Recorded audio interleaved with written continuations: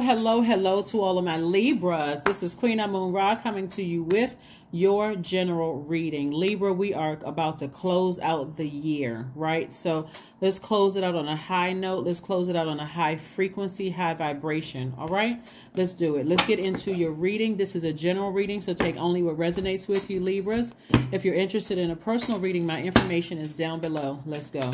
Let's go. Let's go. Let's go. All right. So on the 29th of this month, uh, Mercury goes retrograde, but also we kick off a new phase within this cycle, and it's the first quarter moon phase in in um, in Aries. So that means everybody who wants to see change in their lives has to take the initiative first.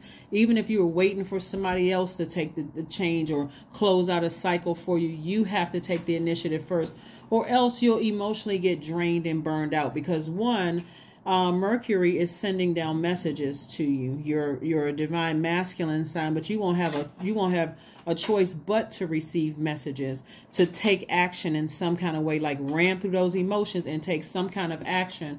And so here we have um, the Six of Wands. We have the Five of Swords. We also have the Six of Swords. Uh-huh. We also have the Tower card, and this light here is uh, Mars. It's attached to the planet Mars. Mars is currently retrograde. It's the energy planet. Again, you decide whether you want energy hacks, you want to focus on energy hacks, or you want to focus on energy leaks.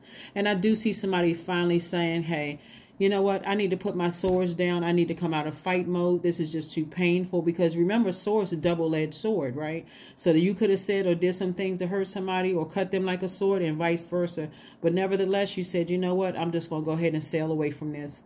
And I'm not looking back. No regrets whatsoever. And I do see you being victorious, right? It looks like because you all are really the, the, the fairest sign. Really, you're the uh, more the most fair-minded sign. That could have been extremely painful for you because again you're looking at i don't want to hurt i don't want to repay hurt with hurt but especially if you're dealing with a master manipulator no matter what you do somehow it's going to be turned into something else so you gotta you gotta be able to discern with that, and Source is going to send very clear messages to you that you got to focus on um, nurturing yourself. You got to focus on watering your own soil, getting rid of all that bitter and toxic, you know, poisonous um, energies that somebody may have left off you know, in your, it was like you may have been fighting with a regular sword and they were fighting with a sword with poison, with laced in poison. You know what I'm saying? Like this, so I do see you getting back to work and earning your money. That's going to be something that's going to help you to stay focused. Um, somebody just wasn't playing fair. It was just never because you're the fair-minded one. That's how somebody was able to manipulate you, Libra. Is okay. We know that fair. You know, some people vet you from the beginning. If you're dealing with a narcissist, if you had a if you had a cut by a narcissist, it was never fair from the start. It was never fair from the start. So stay focused, Libra. Stay focused. Stay focused. Stay focused. Like I said, somebody could have um somebody could have Aries in their chart. Somebody could have Scorpio in their chart. Even if they don't, you may have to pull. I mean, depending on who's who's it connected to, you may have to pull their birth chart to find out exactly you know where it is in their chart. But it's something that there was something that you were very passionate about them. They were very passionate about you. And passion does not equate to sex. It could have been just passion. It could have been that but it also could have been you know something else. They could have been just as driven or just as assertive or just as ambitious.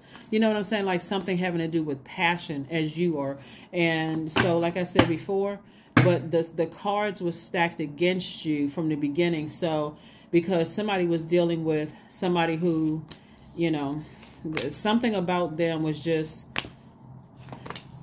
you know hurt from the beginning. Somebody was just dealing with a narcissist. Let me just say it. Somebody was just dealing with a narcissist.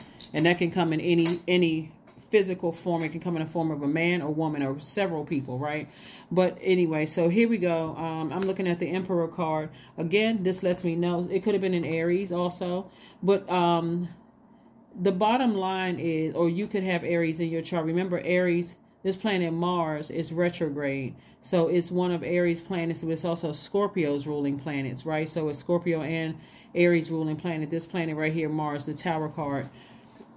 Bottom line is is that somebody is saying i'm going to focus on initiating the change. Remember we have the first quarter moon in this sign aries. So this is about you initiating the change some kind of putting a flame of fire up under you to say okay i need to i need to physically get as far away from some kind of energy as possible. There could be some fear that this person could be you know like facing um, some kind of a death.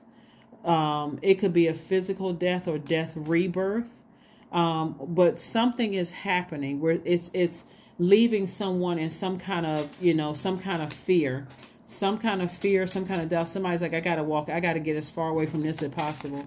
I gotta seek some kind of spiritual help. I need you know to be connected to something that's going to nurture my spirit whether you join a church some kind of spiritual organization. Something is going to help you to deepen your faith and source within you. But this is what you're headed towards the ten of pentacles you doing some kind of legacy, uh, something having to do with your legacy. And sources like, just have faith, have faith. Toss out all the bitterness. You may have. That's why it's so important when you're going through, um, when you're going through your own rebirth yourself, is to have the right energies around you. People who are not pouring salt on an open wound whether they realize what they're doing or not. You need people who are very gentle around you, people who are um, who are just as nurturing as you are and just recognize if you need anything let me know. But they're not putting themselves in harm's way because if you're hurt you know you could be hurting other people. They're not putting themselves in harm's way. They're also holding you accountable. Like i understand you're going through x y and z but you know you're gonna have to watch what you say or whatever. I'm here to help. I'm not here to hurt. That kind of energy right? You don't need a bunch of yes people. Here we have um, eight of cups. So i do see you stepping into your own light um, and I do see you walking away from something, like I said before, um, and just healing. Walking away from something and healing. That's the main thing that you are healing. That's the that's the key thing is healing.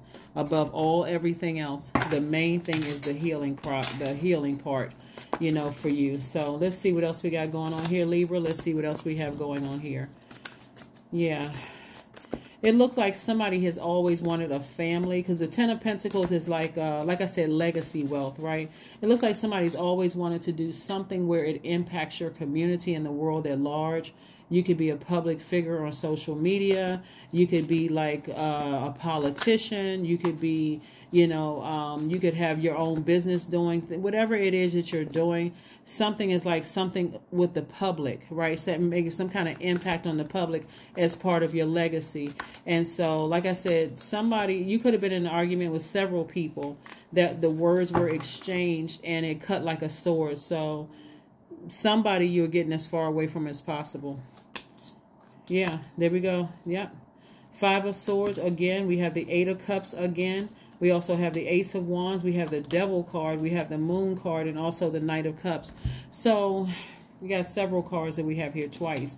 So uh, Five of Swords we have twice. So it could have been several people that you were physically in an altercation, like a uh, verbal altercation with, or maybe even physical altercation. Um, we have the Eight of Cups twice. So you're walking away from several people. It's not just one person. You're walking away from several people. Somebody is just fed up. Somebody is tired of demonic soul ties. Somebody may have been afraid of something or nervous, and that energy um, was really causing you to vibrate low. So it was really affecting all areas of your life. And so this is the this is where you are right now, Libra. You are evaluating every single relationship in your life because somebody has really been through it. So that tower moment right here, this tower moment right here, you are literally saying, if I, if you are if you are in my life and you are draining my energy, I'm gonna have to let you go. I'm gonna let you have to emotionally fall by the wayside. I'm tired of people holding on to secrets. And see, this is this is part of the journey, Libra, that Source wanted you to start listening to your intuition about things. And if if somebody's if somebody's leaking your energy, you're like, uh uh I, I, need to first go to source, especially if it's a difficult situation where it's like I can't just cut that person off. I'm going straight to source and say, Source, please expose everything I need to know about this energy.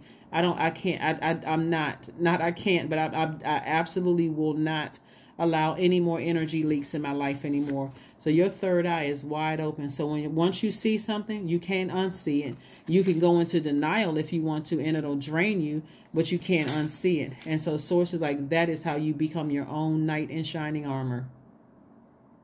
That's how you become your own knight in shining armor. Somebody who's had been looking for their better half, right? You know, people say that, that's just draining all into itself because you are your better half, right? So somebody was looking for somebody to complete them, whether it was in a business relationship or whether it was in a romantic situation, when, when really the only person you need is you. So once you recognize that you came into this world whole and you know what nurtures your spirit and you get you are intimate with yourself you you know yourself very well like all your planetary placements in your universe.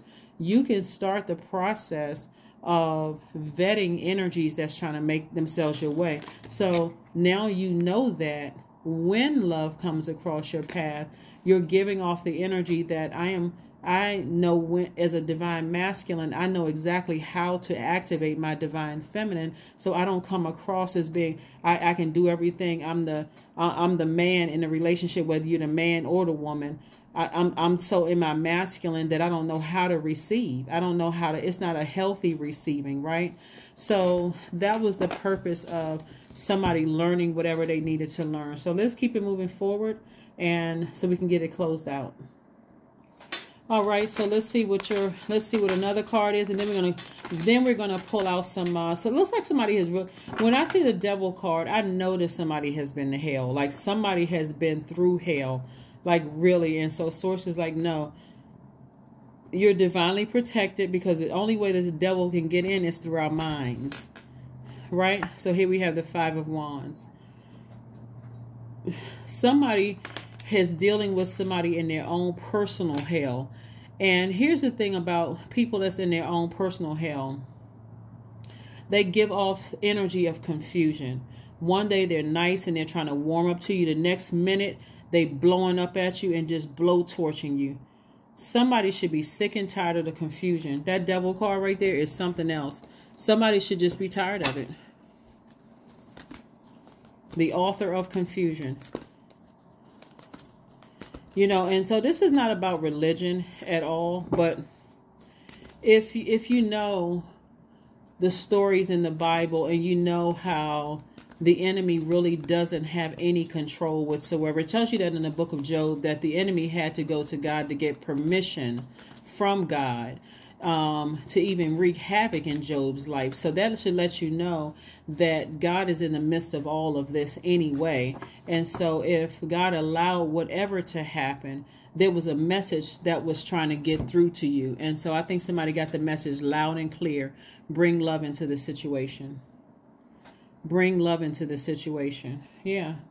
So Aquarius is ruling planet or one of ruling planet is uh Uranus.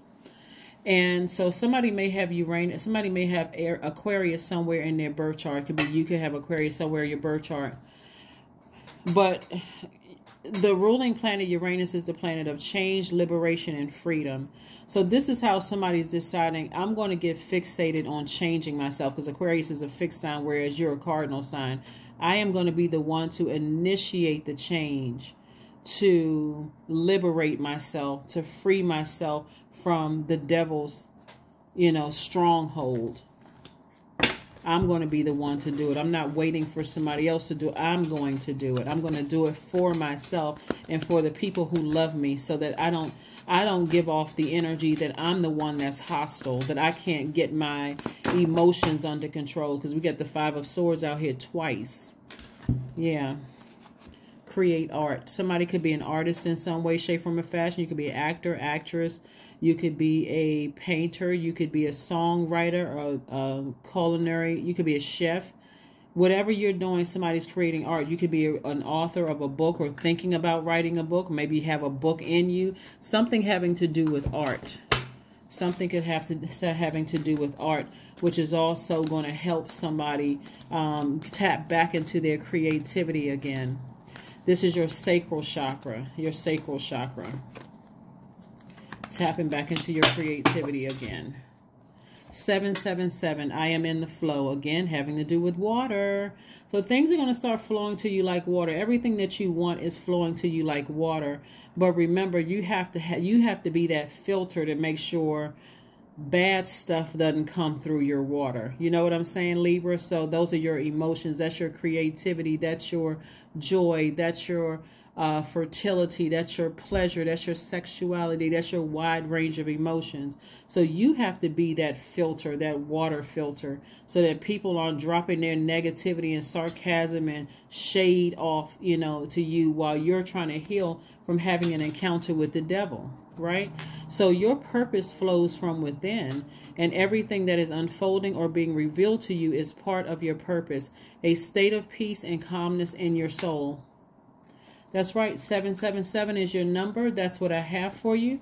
Let's pull one last card. Let's pull your affirmation card and let's go ahead and close it out. Let's pull your affirmation card and let's go ahead and close this out. Let's go ahead and close it out. Let's go ahead and close this out. Abundance, see? Abundance. Abundance is my birthright. There is a piece of pie with my name on it. Money flows to me easily and freely. I am attracting everything that I need for this season. I let go of what weighs me down. Opportunities align with my purpose surround me. I am true to myself. That's it. That is what I have for you. I will see you all in a couple of days. Again, remember to keep your vibrations very, very high and protect your universe. Protect your universe. That is what I have for you. I will see you all. Oh, and don't forget to listen to your sacral chakra music so you can flush out all those toxins and be able to sift through all those messages coming through. That's what I have for you, Libras. Thank you for joining me, and I'll see you in a couple of days. Bye.